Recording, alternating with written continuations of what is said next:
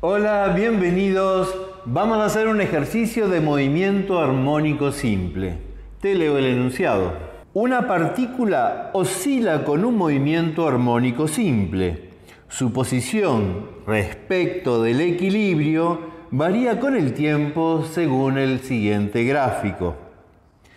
Entonces, el módulo de la velocidad de la partícula en los instantes en que pasa por la posición de equilibrio es, y nos dan seis opciones, 1,5, 0,3, 2, todo en metros sobre segundos. Vamos a encontrarlo en forma certera. Cada vez que abordás un movimiento diferente, sea cual sea, tenés que tener a mano los modelos de ecuación horaria que describen esos movimientos. Acá tenés los modelos de ecuación horaria de los movimientos oscilatorios armónicos. Lo importante que tenés que entender frente a cada modelo es cuáles son las variables y cuáles son las constantes. Como siempre, como es mi costumbre, te marqué las variables en rojo y las constantes en azul. Fíjate entonces, en la ecuación, la primera, la de posición, las variables son x y t, posición y tiempo, como siempre. En la segunda, velocidad y tiempo. En la tercera, aceleración y tiempo. Esas son las variables. Y las constantes son las tres mismas en los tres modelos.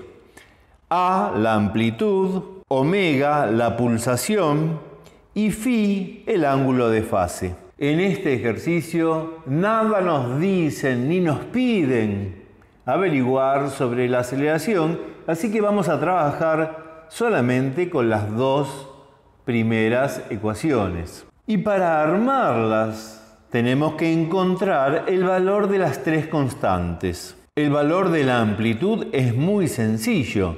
Mira el gráfico que aporta el enunciado. Acordate que la amplitud es el apartamiento máximo medido desde la posición de equilibrio, que en este caso es 0,3 metros para un lado, 0,3 metros para el otro lado de la posición de equilibrio. O sea que la constante amplitud es 0,3 metros. Y así ya vamos avanzando en el armado de las ecuaciones horarias. El ángulo de fase, phi, lo podemos encontrar si prestamos atención al gráfico para el instante t igual 0. Fíjate, utilicemos ese proyecto de ecuación horaria al que todavía le falta el valor de dos de las constantes para que hable de ese instante t igual 0. Según el gráfico, en ese instante la posición es 0,3 metros. Entonces, ¿qué va a decir la ecuación horaria? Va a decir 0,3 metros igual a 0,3 metros el valor de la amplitud que acabamos de deducir por coseno de omega por 0 segundo más phi. Y si te fijas, en esa expresión la única incógnita que queda es phi, porque omega por 0 segundos se cancela. Entonces, ¿qué tenemos? 0,3 metros es igual a 0,3 metros por coseno de phi. De ahí se ve claramente que el coseno de phi tiene que valer igual a 1. ¿Y cuándo el coseno de phi vale 1? Cuando phi vale 0. Coseno de 0 igual a 1. Recordás eso, ¿no es cierto? Muy bien, ya tenemos entonces el valor de otra de las constantes. Phi vale 0.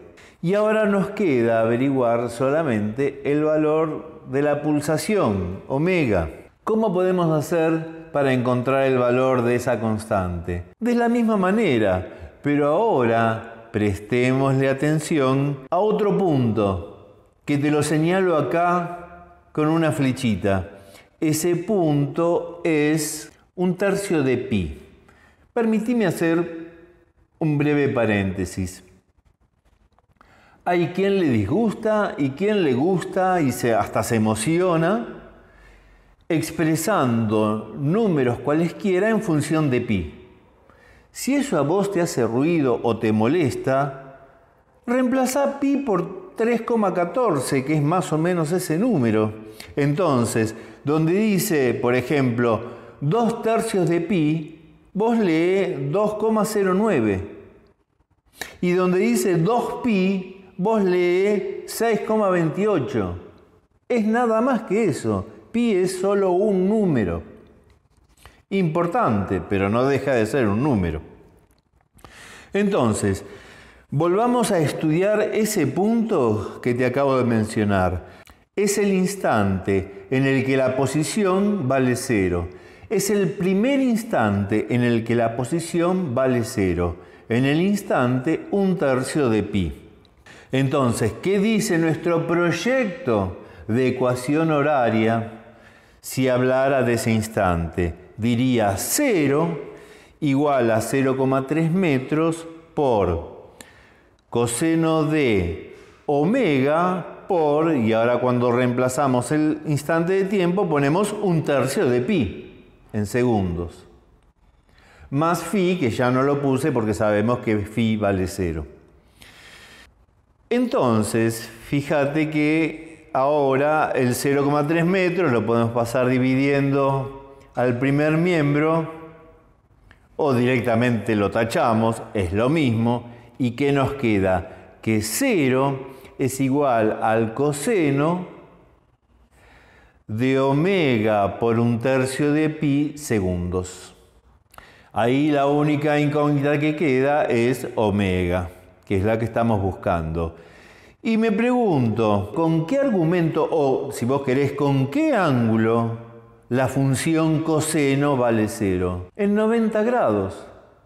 O sea, no te olvides que todo esto lo que tenemos que trabajar en radianes, o sea, en pi sobre 2. 90 grados es pi sobre 2. Entonces, ¿qué tenemos? Que ese argumento, omega por un tercio de pi segundos, tiene que ser igual a pi sobre 2 podemos cancelar pi y despejar omega, que resulta ser igual a 3 medios sobre segundo. Y ya tenemos la tercera constante, que es la pulsación. Teniendo las tres constantes, podemos volver a los modelos y armar las ecuaciones, que nos quedan así. x igual 0,3 metros por el coseno de 3 medios sobre segundo por t. Y la de velocidad nos queda así, menos 0,45 metros sobre segundo por seno de 3 medios sobre segundo por t. Y ahora podemos ir a la pregunta del enunciado que nos pedía el módulo de la velocidad cuando la partícula pasa por la posición de equilibrio. Eso ya lo hicimos, pero vamos a volver a hacerlo. Cuando la partícula pasa por la posición de equilibrio, eso ocurre, al menos por primera vez, en el instante un tercio de pi segundos.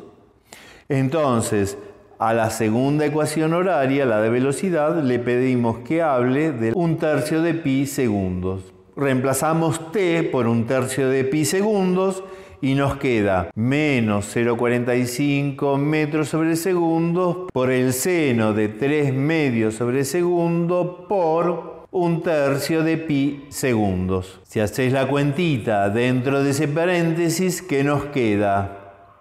Seno de pi sobre 2. ¿Y el seno de pi sobre 2 cuánto vale? Pi sobre 2 es 90, el seno de 90 es 1.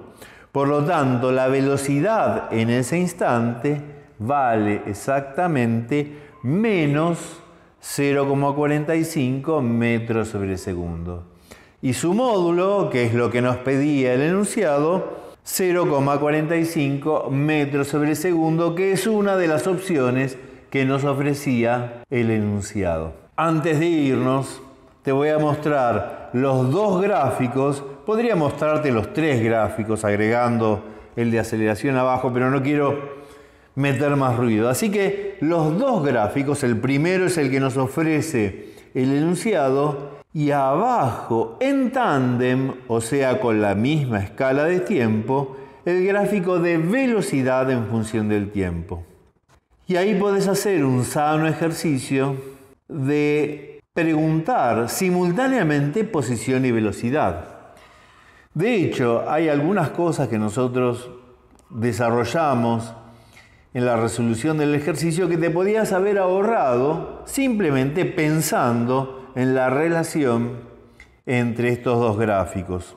Fíjate, ahí se ve que la velocidad es máxima cuando la partícula pasa por la posición de equilibrio. Y la velocidad varía cíclicamente entre un máximo y un mínimo que no es otro que el que figura en la ecuación horaria, o sea, 0,45 para un lado y 0,45 metros sobre segundo para el otro lado. O sea que la pregunta la podríamos haber respondido directamente observando la ecuación horaria.